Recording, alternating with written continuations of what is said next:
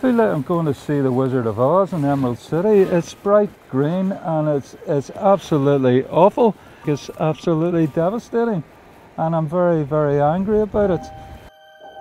People are calling it a requiem now because the loch is near death. We're saying it's dying. It's not dying of natural causes, by the way. It's been killed. It's been killed by polluters.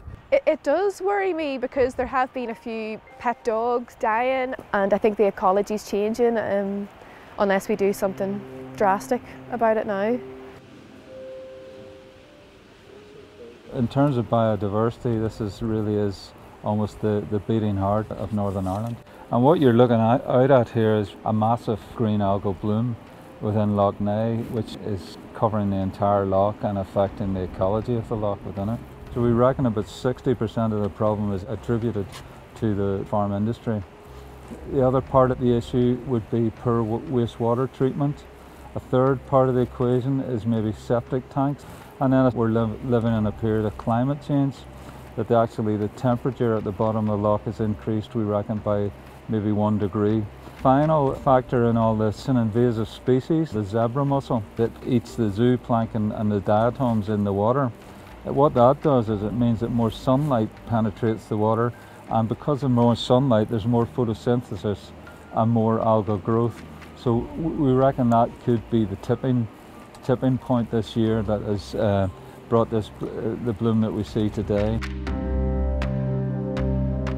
It's been killed by polluters and the people responsible for that are the people who are paid to regulate the polluters and they haven't done it because the nutrient enrichment, the algal blooms, the toxins that are killing dogs and fish, we have been aware of this now for 30, 40 years. It's just happened to reach a peak. So we've known it's a problem, we've done nothing about it, and we've allowed unfettered pollution to make it the state it is. Well, last summer when we were out doing our surveys, there were algal blooms and the water did look green in places, but this year it's completely different. It seems to be a, a loch-wide problem and it's really thick and that horrible smell coming off it. It smells like gas. It's terrifying, it doesn't look healthy at all. Back in the 90s, there were just flies everywhere and at the minute it actually terrifies me that this year we've had hardly any fly and I know my grandfather used to talk about when he was a wee boy during the summer, he couldn't sleep for the noise of corncrakes. And that's a bird that's gone extinct in my granda's lifetime. If I have children, what species will I be telling them that I used to see a lot of that they no longer see? That, for me, really scares me. What you're looking at today sort of reflects the, the state of the environment in this part of the world. That nothing seems to be working and there's nobody available to fix it. There's no Department of Environment. That's another issue because the Environment uh, Agency, NIEA, is a junior partner within the Department of Environment, Agriculture and Rural Affairs. They have a board of 12 and only one of those represent the environment sector. So you can see where the emphasis lies. There's no independent environmental protection agency. Ireland has its own independent environmental protection agency Scotland, England, Wales, Northern Ireland, no, we don't need it. What we need is an interdepartmental working group at a very senior level, led by a minister with senior civil servants at the table and resources uh, to back it up. Politicians need to wake up and smell the coffee. It's straight in front of their eyes. Neagh is in crisis and they need to step up.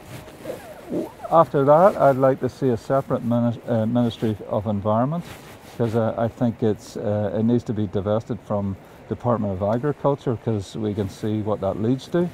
And we need a separate in, independent, independent environmental protection agency. It has to be independent and it has to be have the ability to follow up on pollution incidents. The bad farmers, they have to be penalised. Quite frankly, they shouldn't be allowed to farm when you see what that's produced in this loch. What's happening with Lough Neagh and the damage and the violence we're inflicting on it is exactly what's happened to the planet on a larger scale. So this is a bigger story. This is a bigger story about what happens when ecological systems break down. Suddenly it just happens and it's happened this summer.